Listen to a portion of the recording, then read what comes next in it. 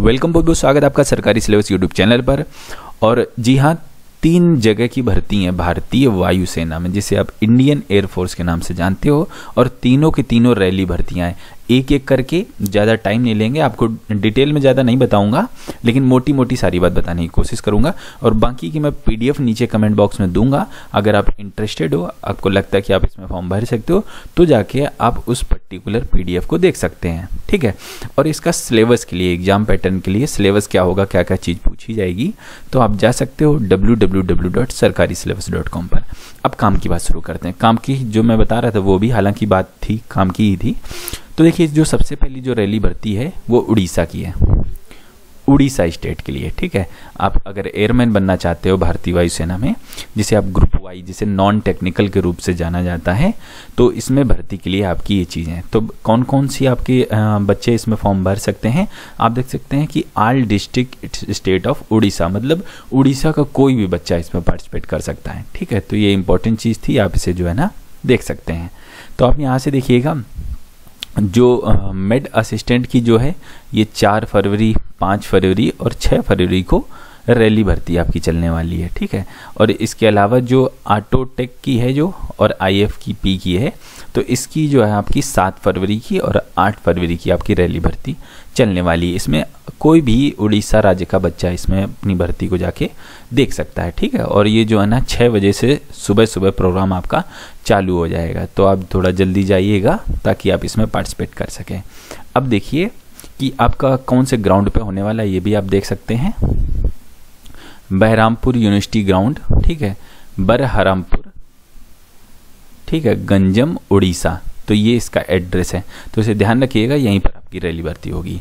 तो ये चीज़ें हमने आपको बता दी। दो शिफ्टों में कराया जाएगा। तो एक ऊपर वाली शिफ्ट के बारे में मैंने आपको यहाँ से बता दिया और ये नीचे वाले में, ठीक है? तो ये चीज़ हो गई। जो बच्चे 17 जनवरी 2000 और तीन तीस दिसंबर 2003 के पहले पहले जन्म में, इन दोनों डेटों के बीच में अगर आपकी डेट ऑफ़ बर्थ पड़ रही है तो आप इसमें फॉर्म भर सकते हो। इसमें देखिए, फॉर्म भरना ना नहीं है, क्योंकि ये रैली भरती है। अब डायरेक्ट जाके सुबह छः बजे सारे दस्तावेज़ लेके पहुँच जाइएगा, ठीक है? तो ये चीज़ होगी और ज़्यादा जानकारी के लिए मैं आपको नीचे पीडीएफ दूँगा, आप वहाँ से भी देख सकोगे, क्योंकि रिटर्न एग्ज़ाम वगैरह के बारे में थोड़ा सा देख लेना, ठीक है? और एजुकेशन क्वालिफिकेशन आपको बता दूँ कि अगर आप जो है ना ऑटोटेक एंड आईएफपी के लिए जाना चाहते हो नॉन टेक्निकल जिसमें आप जा रहे हो तो कक्षा बारह पास होना चाहिए। पचास प्रतिशत नंबर के साथ में और साथ में अंग्रेज़ी भी होनी चाहिए, ठीक है? तो ये चीज़ ज़रूरी थी। इसके बाद अगर आप नॉन टेक्निकल मेडिकल असिस्टेंट के लिए जा रहे हो मेडिकल का मतलब होगा बायो स्ट्रीम से आपके पास होना चाहिए। तो बात वही है कि आपका कक्षा बारह पास होने चाहिए, लेकिन बायोलॉजी आपके पास में होना चाहिए और पचास प्रतिशत नंबर होने चाहिए। तो ये बात होगी एजुकेशन, क्वालिफिकेशन की, उम्र सीमा की और कौन कौन जिलों के बच्चे भर सकते हैं। अब तीसरी रैली भर्ती। तीसरी रैली भर्ती है स्टेट ऑफ़ मध्य प्रदेश से।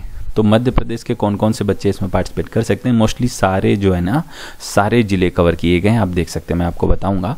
तो इस ये भी जो भर्ती, ये नॉन नॉन टेक्निकल की ही भर्ती है ग्रुप वाई की ही भर्ती है, और आपकी जो रैली भर्ती चलेगी, आप यहाँ से देख सकते हैं। Sports stadium near government Tulsi degree college Annupur MP Madhya Pradesh में, ठीक है? और ये आप सुबह छः बजे यहाँ भी पहुँच सकते हैं, दस बजे से आपकी दौड़ वगैरह जो है ना, शुरुआत हो जाएगी। काफ़ी प्रोग्राम जो है ना छः बजे से मोस्टली इन्होंने बुलाया है, आप जा सकते हैं रैली भर्ती देख सकते हैं, सारे डॉक्यूमेंट्स लेके जाइएगा।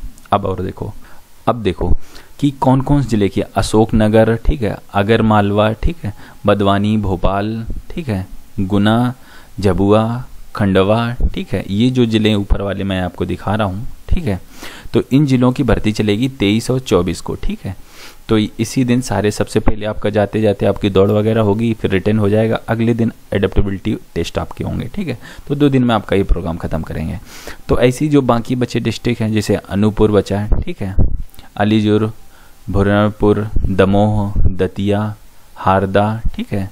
तो ये जो ज़िले बचे हुए हैं ठीक शिवपुरी वगैरह तो इन सब की 26, 27 और 28 को चलेगी ठीक है?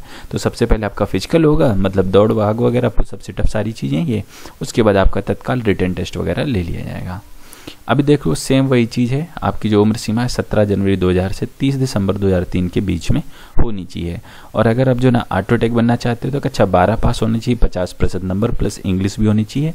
और सेम चीज़ अगर आप मेडिकल असिस्टेंट के लिए जा रहे हो तो आपके पास मेडिकल में डिग्री होनी चाहिए। हालाँकि जो मध्य प्रदेश की है, उसमें मेडिकल की आपकी वैकेंसी नहीं है, सिर्फ़ जो है ना नॉन टेक्निकल वाई की वैकेंसी है। इसके बाद जो तीसरी रैली भर्ती आपको बता रहा हूँ मैं, ये है आपकी असम स्टेट की, अरुणाचल प्रदेश की, मेघालय की, मिजोरम, नागालैंड, त्रिपुरा एंड मणिपुर, जो सेवन सिस्टर्स कही जाती हैं भारत की हैं, उन सातों जो है ना, आप जो केंद्र शासित प्रदेश हैं, इनकी भर्तियाँ हैं। तो देखिए, अब जो असम के बच्चे हैं, अरुणाचल प्रदेश के बच्चे हैं, मेघालय के, मिजोरम के, नागालैंड और त्रिपुरा के हैं। इन बच्चों की है सोलह फरवरी की और सत्रह फरवरी की। और जो मणिपुर के बच्चे हैं, इनकी है उन्नीस, बीस और इक्कीस की। ठीक है? तो आप यहाँ से देख सकते हैं, आपकी भर्ती इसमें होने वाली है। और एक इंपॉर्टेंट चीज़ आपको बता दूँ कि ये जो भर्ती है, इसमें सिर्फ़ और सिर्फ़ जो तीनों मैंने बताई, सिर्फ़ पुरुष बच्चे ही पार्टिसिपेट कर सकते हैं। फीमेल जो है ना, इसमें पार्टिसिपेट नहीं कर सकती हैं। तो ये चीज़ इंपॉर्टेंट थी, ये काफ़ी ज़रूरी चीज़ थी। तो ये बात हो गई, अब हम थोड़ा सा और देख लेते हैं आगे बढ़ने की श्रृंखला में। एक एक करके।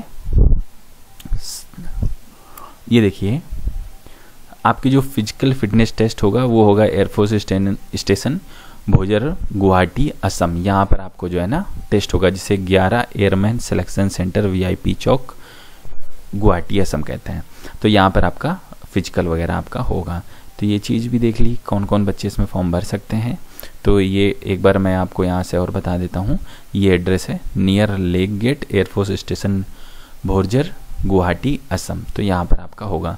सुबह छः बजे आप सारे डॉक्यूमेंट्स के साथ में पहुँचना, ठीक है? तो ये चीज़ हो गई। और आगे बढ़ने की श्रृंखला में कक्षा बारह पास का बच्चा इसमें फॉर्म भर सकता है, ठीक है? और उस मिनिमम आपके पचास परसेंट नंबर होने चाहिए। तो ये मोटी मोटी बातें हो गई। अब सिलेबस के रिटर्न एग्ज़ाम में क्या होगा? इसके लिए आप कॉम पर जा सकते हैं। सरकारी सिलेबस सरकारी सिलेबस डॉट कॉम पर, ठीक है? डॉट कॉम पर। वहाँ पर एक सर्च का आइकन होगा। वहाँ सिर्फ़ यही डाल देना एक्स वाई तो जिसे सर्च करोगे, आपका आ जाएगा air force Y group Y का सिलेबस, ठीक है? और दूसरी चीज़ कि अगर आपको वैकेंसी पसंद आई हो तो आप पीडीएफ एक बार देख लेना। मैं नीचे तीनों की पीडीएफ एमपी वाली पीडीएफ ठीक है, और असम त्रिपुरा वाली पीडीएफ और अरुणाचल प्रदेश वाली जो ये पीडीएफ थी, मैं तीनों ये पीडीएफ आपको नीचे दे दूँगा, और उड़ीसा वाली भी। तो वहाँ से जाके आप अच्छे से और डिटेल में देख सकते हो। अगर वीडियो पसंद आए हो तो इसे लाइक कीजिए, शेयर कीजिए दोस्तों के साथ में। हम आपसे मिलते हैं अगले वीडियो में, तब तक के लिए वंदे मातरम।